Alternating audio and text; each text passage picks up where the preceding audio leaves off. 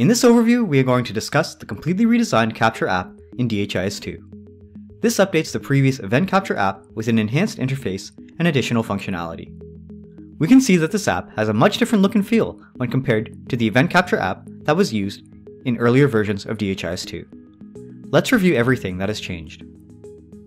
From the start, we can see that all of the items from the previous app are now located in a different location, and are using a more modern design interface based on more current design standards. Let's start with the organization unit selection. This is still located on the left-hand side of the screen.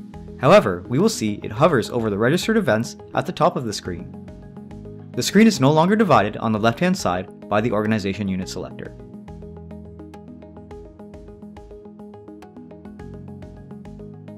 When an organization unit is selected, the tree collapses in order to allow this information to be displayed in a more user-friendly fashion compared to the previous app.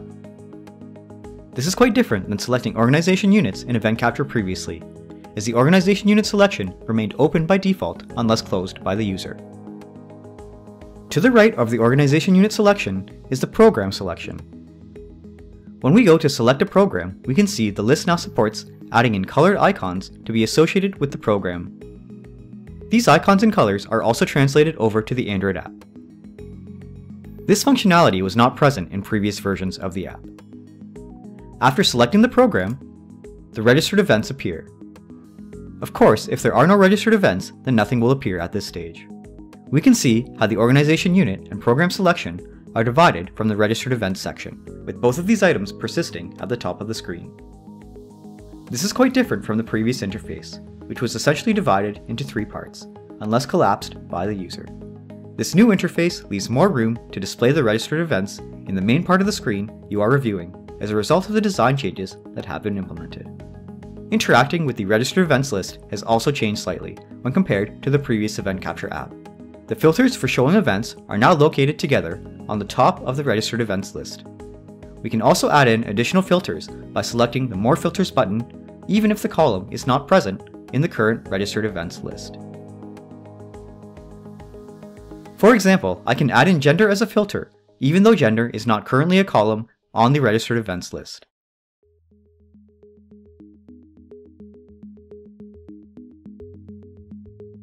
We can also add in more columns to the registered events list from the program just like before.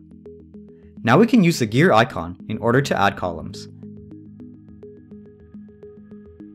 From here, we can decide which columns we want to add to the registered events list. Another added feature here is the ability to sort how the columns appear on the page by dragging and dropping them within this new interface, regardless of the order they appear within the program itself.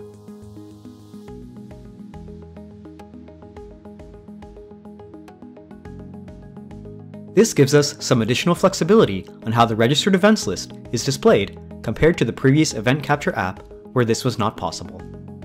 We can see that after I click on Save, it will add these two additional columns in the order that I have specified to the registered events list.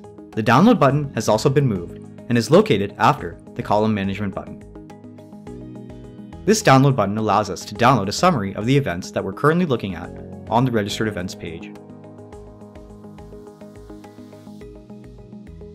At the bottom of the page, you will now find the row and page navigation. Here you can find how many rows appear on the registered events list, as well as navigate between the registered events list pages. We'll end here for the initial part of this overview. We've gone over the new interface as well as a number of the design changes that have been implemented in the new Capture app. In the second part of this overview, we will register a new event so you can review how the new data entry interface appears within the Capture application.